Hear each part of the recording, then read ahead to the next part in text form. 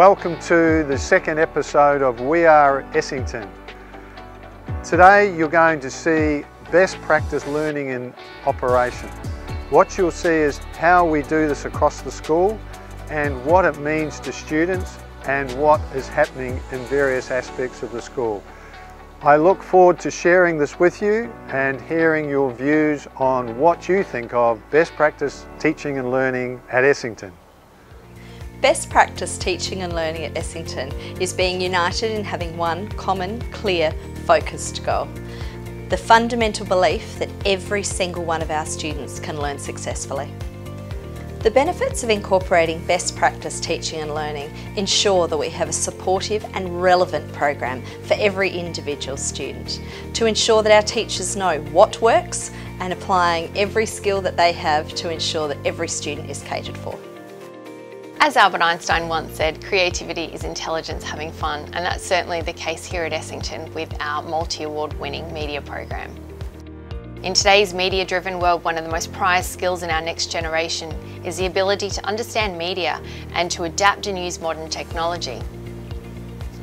Media is a contemporary subject that is relevant in all of our lives and develops the most important skills in 21st century learning, the six C's, creativity, collaboration, critical thinking, communication, citizenship and character. Working collaboratively in groups is a key part of our media program. Research highlights the potential benefits of group work on improving students' communication skills, academic performance and confidence. Spreading learning responsibilities throughout a group of students also helps reduce cognitive load, which allows students to learn more effectively and apply their learning to new contexts more easily. Students are given creative freedom to use industry standard resources, placing the emphasis on student-led learning which creates higher engagement with the students. Then we provide the students with an authentic audience for their work, for instance, showcased at school events, published on our dedicated media website, posted on our school's YouTube channel and entered into local and national competitions. This not only boosts student engagement but also helps us build connections within the community and further inspire the next generation of students. Throughout this process, students also complete a multimedia learning journal to reflect on their own learning and progression of skills, as well as reflect on group work and how effectively the group communicates and collaborates. In the English department, we value creativity and innovation, and this is firmly embedded in our everyday practice in the classroom.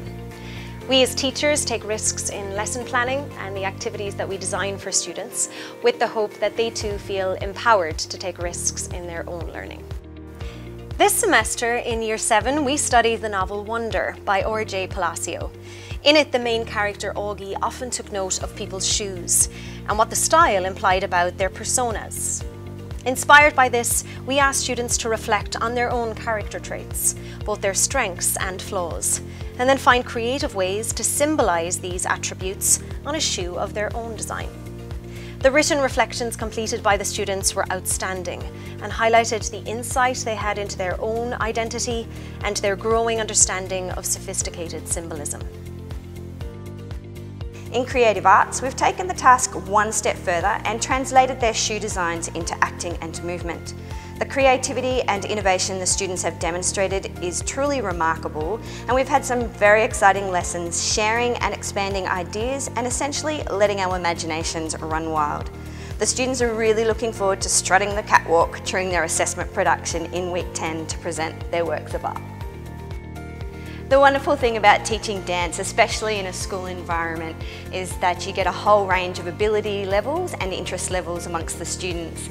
And in having that, the children have the opportunity to express themselves creatively and innovatively in whatever way they want. So it's a really inclusive environment uh, where the children get to really explore where their imagination can take them. The Year 6 Jungle Book production is a really excellent example of where the students have been able to express themselves freely.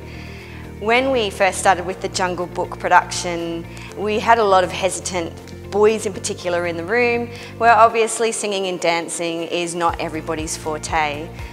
Um, the creative team went away and thought about how we could best engage the boys in the Jungle Book production and decided that, hey, in the Jungle Book there's monkeys, right? So we decided to recruit the boys to all be monkeys where literally they could monkey around and be themselves and express themselves freely within the environment.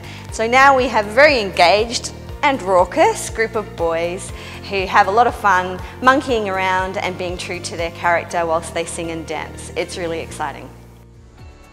Thank you for watching this episode of Best Practice Teaching and Learning.